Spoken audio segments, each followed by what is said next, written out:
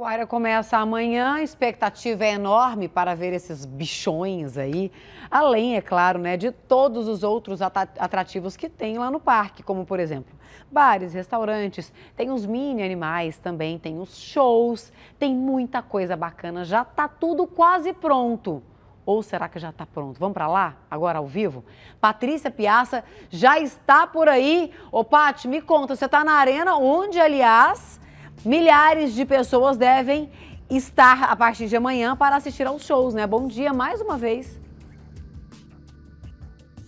Bom dia de novo, Manu. Bom dia para todo mundo de casa. Mais uma vez, a gente está aqui na Arena, onde os shows serão realizados. Vários cantores passarão por aqui. Tá quase tudo pronto, viu, Manu? Do dia 16, a partir de amanhã, até o dia 26 de maio, a festa tá garantida aqui no Parque de Exposições Agropecuárias. Vou pedir pro Carlão fazer um giro aqui, mostrar melhor pro pessoal de casa o palco. Olha só, amanhã já tem a abertura, então, da Pecuária de Goiânia com Eduardo Costa e Thierry com entrada é, solidária, um quilo de alimento não perecível. Dia 17 tem Natan e Joelma, dia 18 no sábado, Ana Castela e Gustavo Mioto, dia 20 tem Gospel com Dave Leonardo, dia 23 Maiara e Maraís, olha só essa lista de peso, hein? Dia 24 Lauana Prado, 25 Vitor e Léo e fechando a festa é dia 26 Enaldinho, que é uma atração para criançada. Aqui no Parque de Exposições, mano, como você disse, tem vários bares,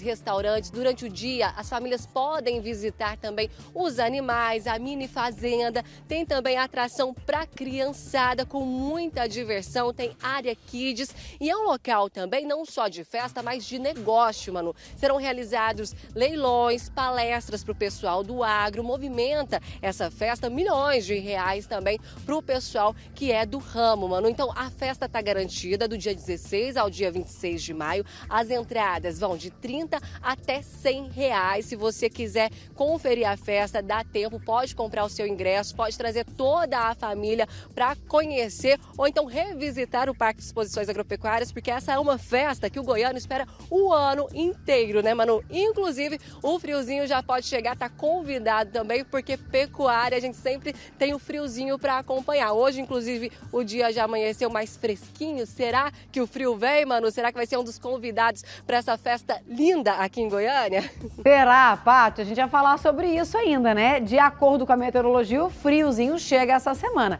Em Goiânia já é tradicional, ele chega sempre junto com a pecuária, mas pelo jeito parece que é aquele friozinho só durante a noite mesmo, viu? Só para fazer todo mundo colocar uma roupa mais produzida para pecuária, para fazer todo mundo tirar a bota e casaco, né, que são características da pecuária, de quem vai para pecuária para acompanhar essa festa linda. Pati, obrigada pela participação. A gente já está na expectativa para trazer tudo para você, tá bom? A gente vai te atualizando de tudo aqui que vai rolar na pecuária aqui em Goiânia.